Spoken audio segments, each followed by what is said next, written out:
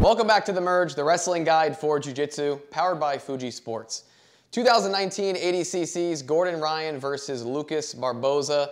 Uh, Gordon utilizes a elbow pass to create an angle, create an opening, and close the distance with Lucas. Now, unfortunately, uh, during this sequence, they do wind up going out of bounds. I would have really loved to see this play out, though, because Gordon lands in a pretty good position as they go out of bounds. Lucas did throw in a whizzer on the way down, but he doesn't end up in that hip-to-hip, side-to-side uh, dogfight position where the whizzer is very strong.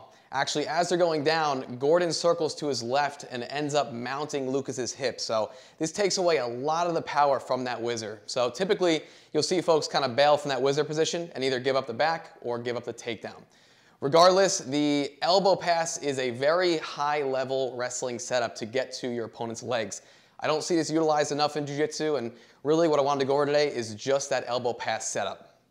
All right, so what is an elbow pass? So what I want to talk about first is when I'm in a stance with my opponent, when I'm hand fighting with my opponent, or if I'm looking to even take a shot, my opponent's arms are a line of defense for them, right? They can literally control my distance getting closer to their hips or their legs. So what an elbow pass is, let's say I'm going for my opponent's left leg here, I am essentially moving their arm out of the way. So there's two things.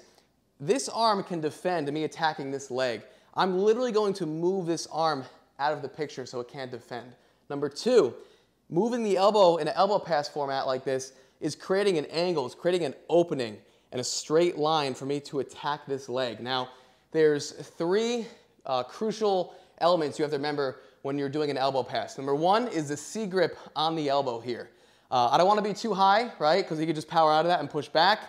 I don't want to be too low or slide down on the forearm. I'm going down to where it's kind of clicking on those two pointy bones on the side of the elbows. This is a very strong spot for me, very weak spot for my opponent here. So I'm going to slide my C grip down to the very end of his elbow from here.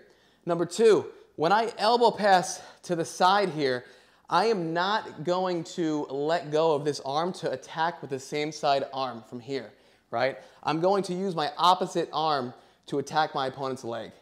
Number three, when I do the elbow pass, I am not going to let go of this elbow until my shoulder beats his elbow line here. If I try and just push this to the side and take a shot, and, uh, and or let go first and take a shot, he's gonna pull the arm right back. So I'm gonna push the elbow across. My arm's gonna be crisscross for a quick second. Hold it until I actually connect with my opponent's leg and her hips to finish the shot. So Lucas and Gordon were hand fighting from here, and Lucas post on Gordon's far side shoulder. Uh, his elbow is already kind of midway past uh, Gordon's chest from here. So uh, Gordon saw this, perfectly timed, right? Really quick and really strong elbow pass to the side. So strong, Lucas's weight actually and his angle shifted a complete 90 degrees. He went from facing Gordon to facing away from Gordon. Uh, Gordon lowered his level, went in for the shot, uh, due to the drastic uh, angle change here, uh, that's why they kind of got in this exchange um, for that back take position, which why I'm going out of bounds. But like I said, focusing just on the setup from here, if you do want to get more mileage in this and drill this, there's many positions you could hit this elbow pass from.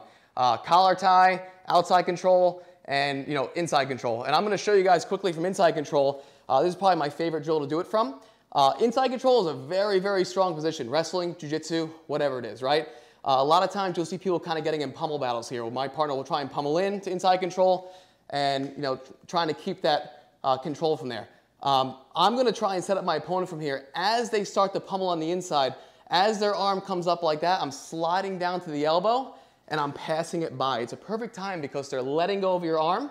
They're coming underneath your arm to try and grab at the top. So as it gets underneath my arm and goes to grab, I'm pushing it across and stepping. So you could just do that as a drill for a little bit. They go to repummel inside, step, step. If you want to take it to the next level, after you pass the elbow by, you can go in for a shot just to make the connection.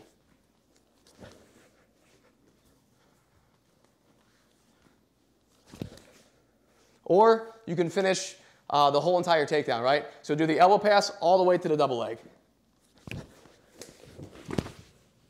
Thanks for tuning in. For more episodes and more videos, check out The Merge on social media, and you can go to themergeonline.com to subscribe for free. I'll see you guys next time.